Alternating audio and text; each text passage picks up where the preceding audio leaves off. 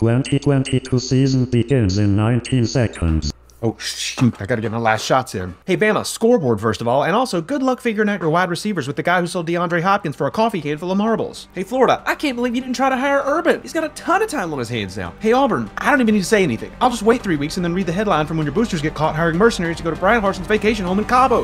Yes, just got that last one in. All right, 2022, let's go. Who doesn't love a duck? Ohio State.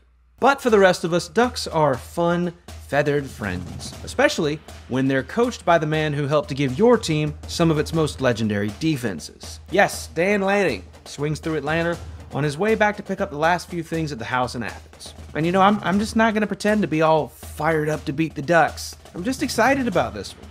I'm glad that football's back. I'm glad that we start the season with a big name team. And I'm glad